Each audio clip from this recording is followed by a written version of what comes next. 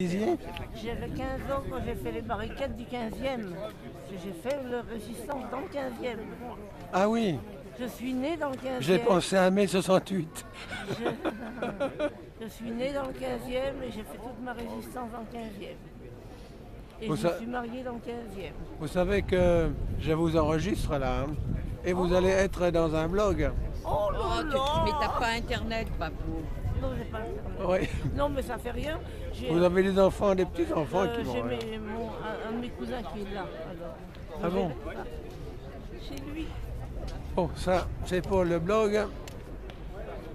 Vous n'avez rien d'autre à déclarer Non.